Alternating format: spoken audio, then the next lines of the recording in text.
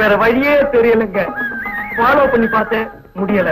பக்கத்துல வந்து பேசலாம் நினைச்சேன் அதுவும் முடியல. எனக்கு தெரிஞ்ச ஒரே வழி தாங்க எல்லாம் உங்களுக்கு தான். என்ன கை விட்டுடாதுங்க. எனக்கு வாழ்வு கொடுங்க. இல்லைன்னா மண்டைய போட்டுடுவேன். போனா பகுதி இந்தாங்க. ஆ, சிரிச்சுட்டா. ஆ, சிரிச்சுட்டா. நான் உங்களை மனதார ரோடில் சந்திக்கலாம். ஆனால் கூட்டம் வேண்டாம். கூட்டம் வேண்டாமா? ம் நாம் நடந்தே காதலிக்கலாம். காதலிக்கா அன்புடன் பிரியா.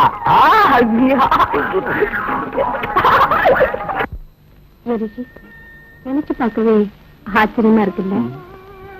என்ன? எங்கிருந்தோ வந்தனா எங்கிருந்தோ வந்து நீங்க. இந்த நேரத்துல ரெண்டு பேரும் எப்படி ஓ அதுவா? இதுல ஆச்சரியப்படுறதுக்கு ஒண்ணும் இல்லையே. இந்த நிமிடங்கள் நம்மோட வாழ்க்கையில முன்கூட்டியே எழுதி வச்சதுதான். அப்படி ஒண்ணும் இல்ல. சும்மா ஒரு பேச்சுக்கு தான் சொன்னேன்.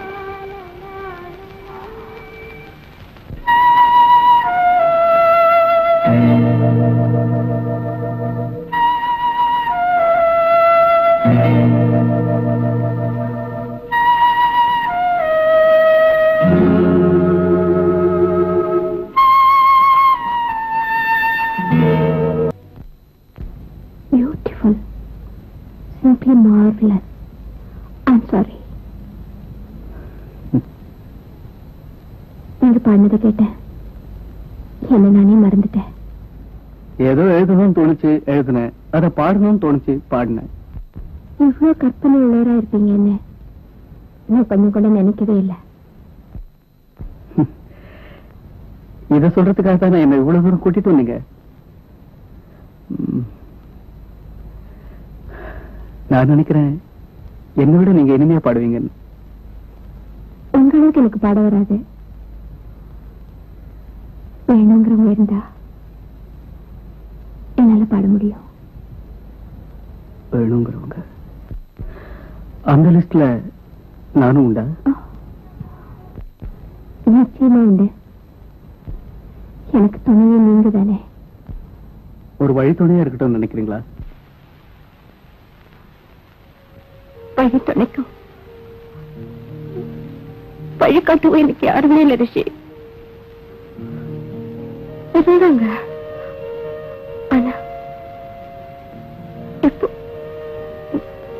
தடிமரமா மட்டும்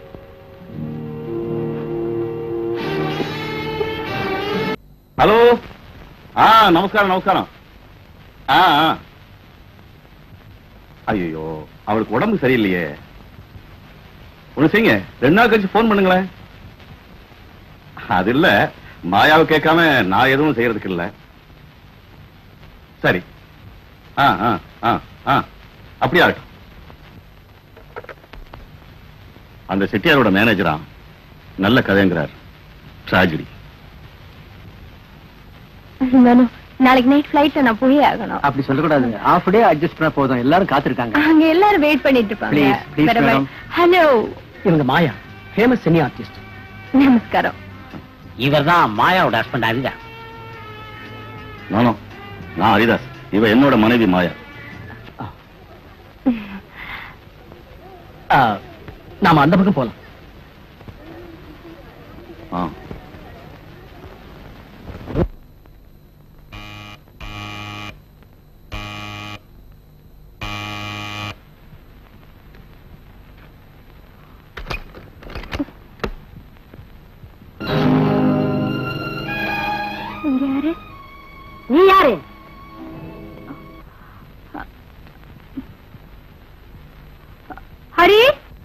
கூப்பிடு உன்னுடைய அர்ச்சந்திரனை கூப்பிடு. எனக்கு இதெல்லாம் தெரியாதுன்னு நினைச்சியா?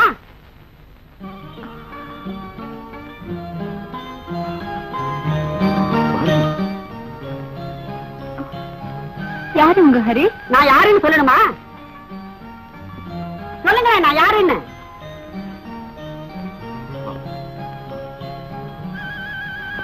அவர் சொல்ல பயப்படுறாரு. நான் சொல்றேன்டி. நான் சொல்றேன் உனக்கு விளக்கமா? பக்கத்துல நிக்கிறாரே அவரு பெத்த குழந்தைங்க இதுங்க. இது அவர் கட்டின தாலி. நீ ஒண்ணு என்ன மேலும் கீழும் பார்க்க வேண்டாம். என்னங்க எங்களை விஷம் வச்சு கொண்டுடுங்களேன்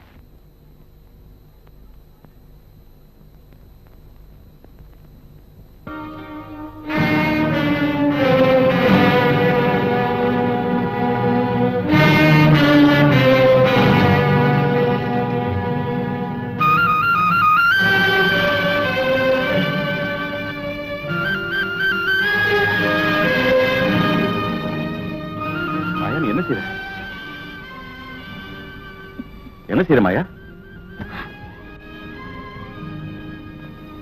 நான் உங்களுக்கு யாரு? தப்பாட்டி இல்ல. யார் அப்படி சொன்னது? நீங்க என்ன இப்படி ஏமாத்துவீங்க நான் நினைக்கவே இல்ல. பேசுறது பொண்டாட்டி. குழந்தைங்க. மாயா நான் இதை எத்தனையோ தடவை சொல்றதுக்கு வந்தேன். நீதான் அதை சொல்ல விடாத அளவுக்கு தடுத்த உங்களை நம்பி எல்லாரையும் உதறி தள்ளிட்டு வந்த நான் தான் பைத்தியக்காரி.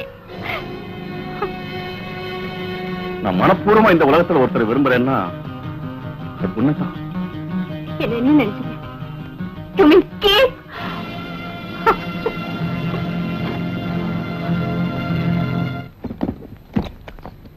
மாயா. சாரி. முதல்ல கையிடுங்க. எனக்கு நீங்க செஞ்ச சதிக்கு உங்களையும் உங்க மனைவியையும் குழந்தை குட்டிகளையும் நடுத்தரம்ல நேற்று பார்த்துட்டு தான் நான் சாவேன். ஞாபகம் வச்சுக்கணும்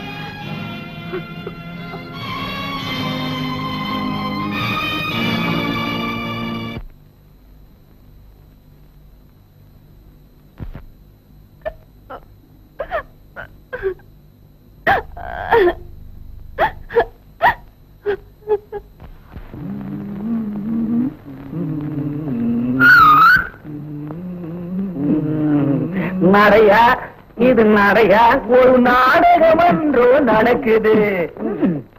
குருவே என்னையாது விசில் அடிச்சு கொண்ட கூட்டம் இவன் வரான்? குருவே என்னய்யா மறுபடியும் அடியா? அடி வாங்கி என்னை குண்டா போற. அது இல்ல சார். பின்ன? உன் லவரோட அண்ணங்கார துரத்துறானா? அண்ணங்காரன் துரத்தல சார். அவன் எங்க பொறுக்கிறானோ அதிர்ஷ்டம் துரத்துதே. நீ டோட்டலா என்னன்னா சொல்ல வர்ற? சார் அந்த பொண்ணு லவ் பண்ண ஆரம்பிச்சிச்சு. ஒரே வார லவ் கல்யாணம் வரைக்கும் வந்துருச்சு? அப்படியா? நீங்களும் இருக்கீங்களாடா? சார் நாளைக்கு காலையில எனக்கு அந்த பொண்ணுக்கும் பண்டரிநாத கோயில்ல கல்யாணம்.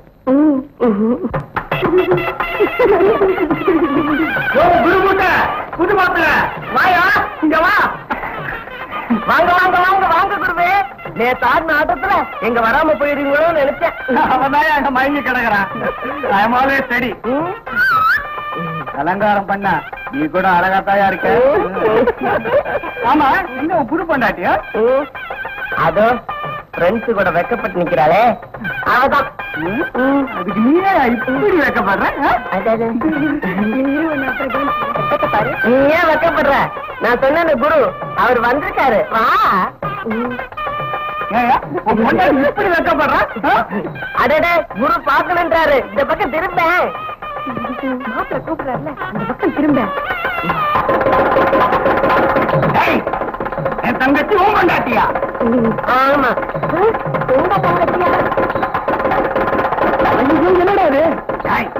எவ்வளவு தைரியம் இருந்தா எங்கட்டி ஐடியா கேட்டு என் தங்கச்சிய ஓரம் கட்டுவேன் ஒன்னு உன் தங்கச்சி தெரிஞ்ச உடனே உனக்கு இவ்வளவு கோபம் வருதே? இதே ஊரா விட்டு பொண்ணா இருந்தா உங்க ஐடியா பரவாயில்லையா? தண்டின தன்னை சுடுன்னு சொல்லுவாங்க அது உன் விஷயத்துல எவ்வளவு கரெக்டாச்சு பாத்தியா? தங்கச்சி அதுக்காக இவனா? சரி சரி கால விடுறான் அவ கால இல்லடா. ஏன் கால் இல்ல கால ஏன்டா இப்படி அலையற? மறந்துட்டேன் மச்சான் மன்னிச்சிரு நல்லா வந்து.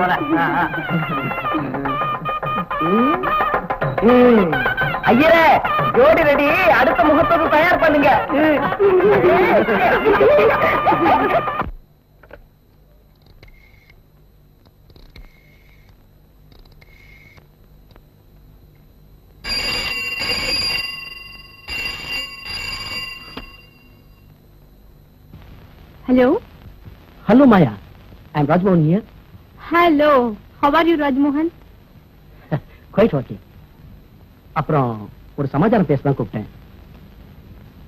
நீ தனியா இருக்கியன்னு ஒரு வீடு எடுத்து கொடுத்தேன். யாரும் இல்லையேன்னு சங்கர மாமாவை துணைக்கி வச்சேன். நான் இதையெல்லாம் செஞ்சேனேன்னு கைமாறா நான் இதை கேட்கல. நான் இப்படி எல்லாம் பேசுறேன்னு தப்பா நினைக்காத. நீ ஹரியோட படத்துல நடிக்கணும்னு கேட்க தான் கூப்பிட்டேன். இந்த படத்துல ஹரி டைரக்டர் மட்டும்தான். மிஸ்டர் ஹரியோட படத்தில் நடிக்க ராஜ்மோகன் எனக்கு போன் பண்ணணும் இல்லையே. ஹரி ஒரு டைரக்டர் நான் ஒரு ஆர்டிஸ்ட் அவரோட படத்தில் நடிக்க எனக்கு இப்ப டேட்ஸ் இல்ல. Sorry mister Rajmohan. Sorry thank you for calling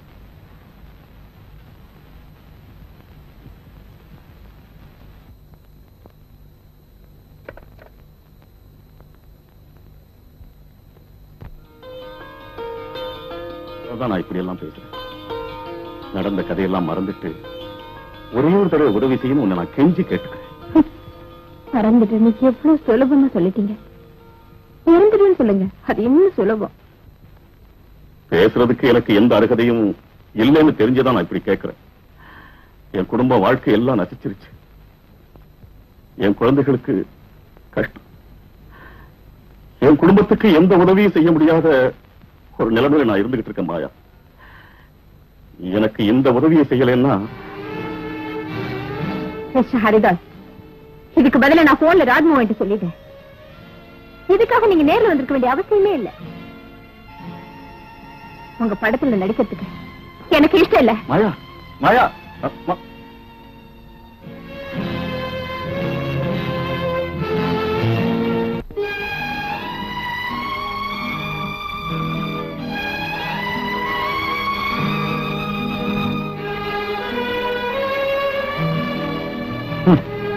கவனிச்சுக்கிட்டு தான் வரேன் நானும். நீ செய்யறது கொஞ்சமும் நல்லா இல்ல உறுதி சொல்ல வந்திருக்கீங்களா? எனக்கு உபதேசம் பண்ண நீங்க யாரு? உபதேசம் செய்யத்தான் வந்திருக்கேன். வேணும் நான் கண்டிக்கவும் செய்வேன்.